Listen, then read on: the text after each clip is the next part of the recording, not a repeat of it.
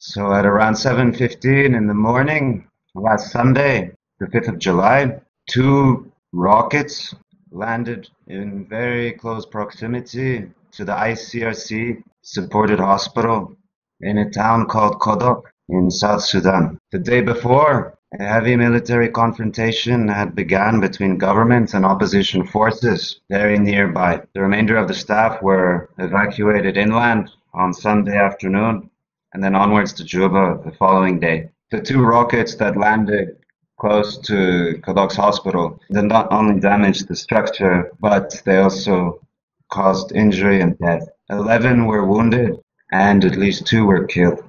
Soon after this terrible incident occurred, a colleague working at the hospital and myself went in order to assess the damage and to see the injured.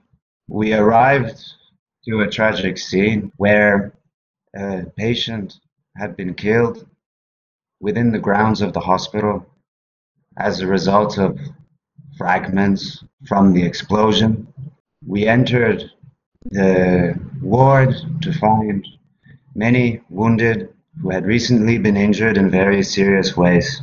So the International Committee of the Red Cross has been supporting the hospital in Kodok for just over a year, and it's the only hospital within the whole portion of Western Upper Nile that lies to the west of the river. At least uh, 500 patients have been treated there a week on average, and the catchment population is at around 40,000 individuals. We must also remember that uh, in this time of conflict, a number of war wounded and sick are continuing to arrive at the hospital whilst we are unable to be there. And health staff we have been supporting in Kodok have also fled at this time. And so the hospital is virtually empty of any qualified personnel to provide quality care at a time when it is most needed.